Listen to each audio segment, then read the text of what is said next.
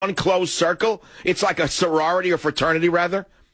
They all know each other. He could do it with one less than a phone call. The stroke of a key. He could have Google and Facebook close it down. Any opposition to him, any opposition to immigrants, he could have it done tomorrow or yesterday. Do you know that? With the wink of an eye? Just by rubbing some menthol on his eyelid, he could stop it. It's frightening beyond belief. I never thought I'd see it in this country ever. And, uh, and you know what? The left would applaud the attack on the Second Amendment and the First Amendment. They would applaud it. And I'll tell you what else is coming, or possibly coming. Tell me which outlets in the media are most vociferous against this maniac. It's certainly not television. It's not Fox News. They're very middle of the road. Only talk radio, isn't it? Yes, you're my voice of reason. You're the only people that, that, that understand and have. How uh, hard would it be for Obama to shut us off? You know that's that you know that's attacking the very First Amendment of the Constitution. And so, who would who would say anything about it? Who would defend us if he tur- if he turned us off on the radio, saying we are disturbing the social order, like Kim Jong mentally ill did, I, I mean, or his stupid, or his son, the, the herring eater there, whatever his name is, Kim Jong Moon. Okay, now you understand why there's darkness in the country. We have a vampire who will go after any amendment that grants us liberty to stand up to him. My friend, it's uh, Friday. We should have a good time, you know, all of that stuff. I'm sending you a copy of Government Zero. If you don't already have one, give it to a Marine buddy. I'll be back in a minute.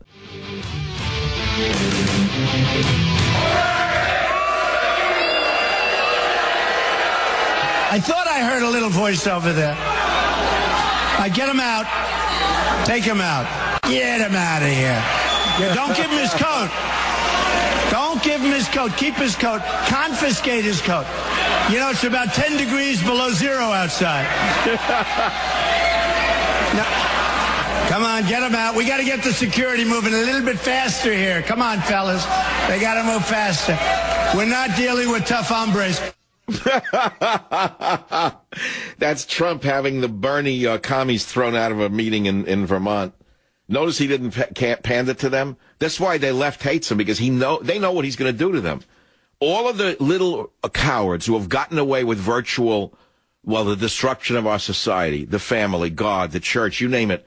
They know what's coming when he wins. You know, another story comes out today about polls Donald Trump must be destroyed. Sean Kennedy, CNN, and they go down the list, and it says that Trump channels that of the basically the white, angry, economically struggling America.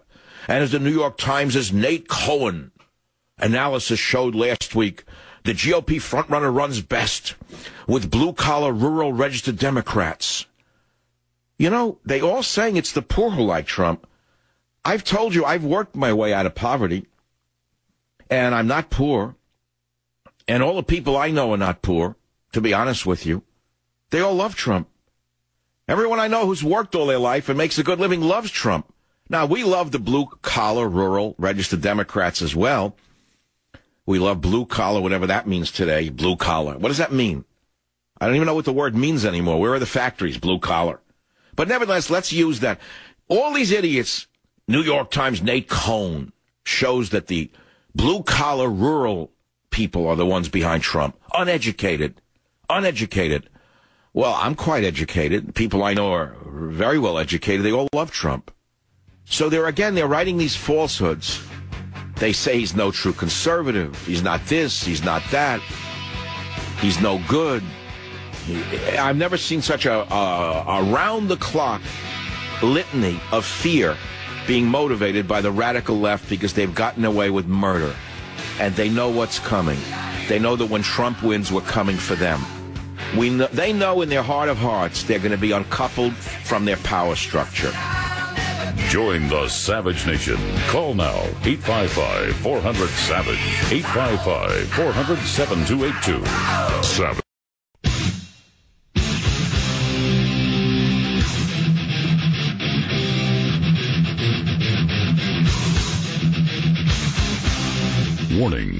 Savage Nation contains adult language, adult content, psychological nudity.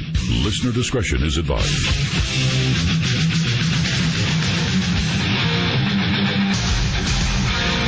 And now, America's most exciting radio talk show, The Savage Nation. Talk radio for the thinking person, home of borders, language, culture. And here he is, Michael Savage. One, two, three o'clock, four o'clock, rock. Five, six, seven o'clock, eight o'clock, rock. Nine, ten, eleven o'clock, twelve o'clock, rock. We're gonna rock around the clock tonight. Put your glad rags on. Join me home. We'll have some fun when the clock strikes one. We're gonna rock around You know, I watch. We're rock, rock, from the 50s. I see an America that was bold, daring, macho, unafraid, proud of itself. I look at America today, I see uh, obviously something else. Now, what do I see? And why has it come to this?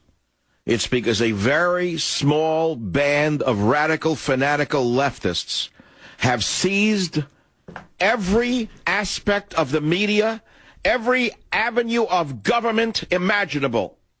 They're not the majority. They don't, they don't speak for the people. This is a small band of deviants, political deviants. I'm not referring to their sexuality because I'm sure it varies across the board. They are political deviants in a statistical sense.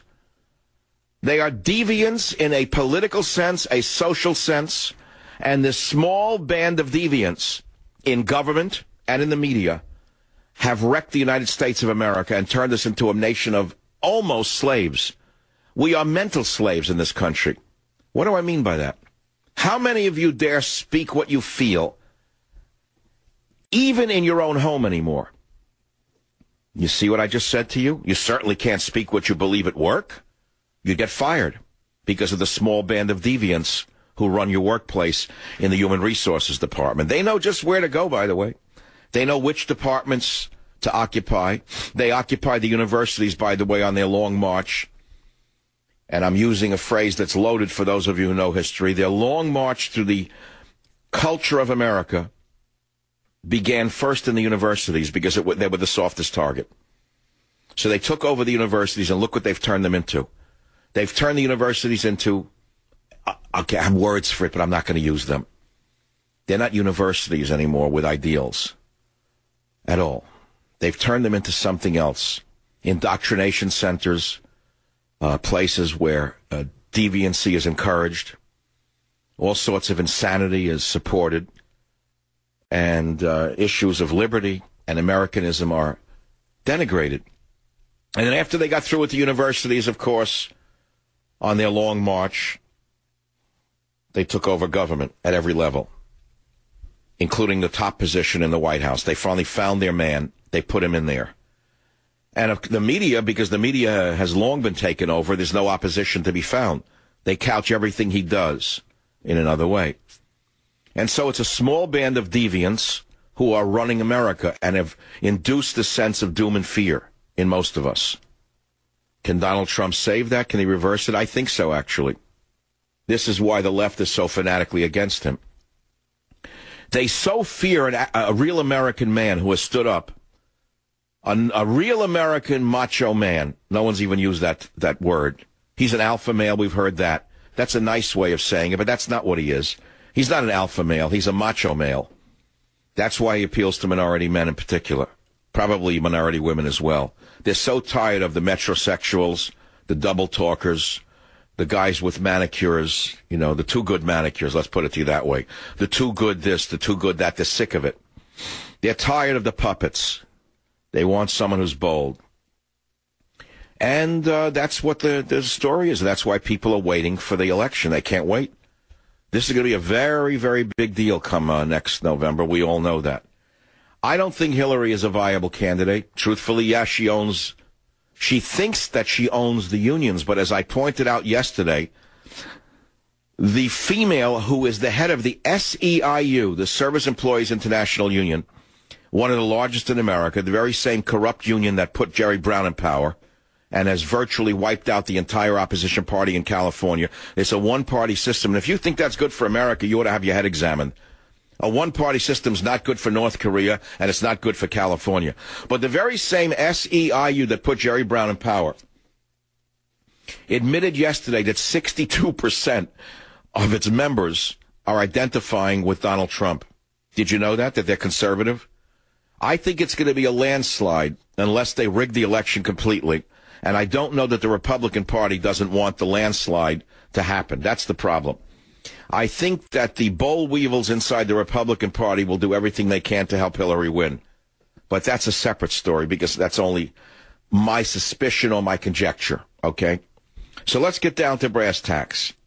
We see what's going on. I've given you the top stories of the day, which I, I can't repeat every hour. It's too hard.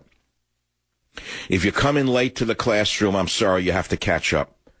Get the Savage notes from someone else because hour one was very important today. And if you missed it, it's going to be on the what what month is this? January. It will be on the uh, quarterly tests that we have in February. The first midterms will be in late March on the Savage uh, schedule, but we'll have the quarterly exams next month. And if you miss anything in any of the hours, you'll have to get it from the Savage notes. Now let's go to the callers, and we have one open line at 855 400 7282. That's the phone number. WABC Joe, go ahead, please. What's your topic? What's your position? Hey, hey, Mike, how you doing? Uh, I just, you know, so you started talking. I heard your whole diatribe, and you go right into the identity politics and us versus them. They hate the country. You know, the universities are taken over by communists. Listen, I No, know you're. I didn't use the, I didn't use the word communist once. I said deviance. You got my word wrong. No, no, but I, I'm giving you the whole diatribe. Uh, excuse me. I'm giving you your whole diatribe that you do throughout the week. I just started. Oh, so wait, so so the diatribe is not from today; it's from the week. Okay, you're being more specific. Because I said deviants took over the universities, and I said in a statistical manner they are deviant. Those are my exact words. Okay. But don't you think that instead of using the us versus them kind of politics, and listen, again, I know you're a provocateur, that this is what you do, this is how you... Okay, all right, you know everything right now. Now you categorize me because you're so smart. In other words, I don't believe anything that I say. I do it just to provoke people. Is that it? But, but you know, instead of getting to a, to a, a fight about you, with you... Well, what, isn't that what you're doing? Aren't you trying to provoke me? No, I'm trying to play your... Oh, no, you're above provocation. I get it. You're not trying to provoke me. And it's not you versus me. Suddenly you're my friend. Is that right? I don't want to get you riled up, you know, the reason why... Well, you just tried to get riled up, but you didn't pull, you didn't uh, pull my, you didn't push my buttons too good because I can see right through you. What's your main point, my friend? Okay, my main point is I am an Iraq War veteran. Ah, yeah. You're all. Are you a war hero? You have the medal. You have the Medal of Honor as well. Sir, I'm not any kind of hero. I, I serve my country. And Good for you. I'm glad to hear. All right. So you served your country and what? And you agree with everything that the monster in the White House is doing. Is that it? And then, and then here you go again, the monster. So that, so that's productive, right? That's an intelligent comment you just made. It's a very intelligent comment. If you want real intelligent, I'll send you Government Zero, and you can read 400 pages about what the monster has done with references. But are you willing to read something, or is your mind made up? You can be the, the I am a self-made scientist, and and and I. Oh, here we go again, but you didn't react to what I just said. Will you read a book? Will you look at the facts? Will you see the references, or your mind is made up? But then you show your ignorance and you call the man a monster. You see this? Here we go again, but you didn't say you'd be willing to read a book, did you? But do you see how you defeat your own argument? No, did you see what I just said? You, Mr. Ignoramus, refuses to even read a book. I, I love books. I love books. But, Oh, you uh, love books? Oh, okay, so be my guest. Would you read Government Zero and re- refer to it and see if you disagree with any of my factual statements? Knowing your wares, knowing your wares, have you no shame? Sir, you, so you're changing the subject again. You're showing your ignorance. You're showing your ignorance because my book became number three on the New York Times bestseller list. Does that mean everyone who read it is an ignoramus? Listen, everybody, in case you didn't. No, no, you listen to me now. You've talked. You listen to me. Does that mean everyone who bought the book is an ignoramus because they don't agree with you? Just in case you didn't know, it's called Government Zero, and he's trying to sell you his book. Just in case you didn't know that. Well, sir, what are you, what are you t- who are you talking to right now? I'm talking to you, Mike. I'm talking to you. I thought we're talking here. Thought, What, what are you? Wait, sir. Let me ask you something. You're a war hero. We know that. What do you actually do for a living? hey, wait a minute. I didn't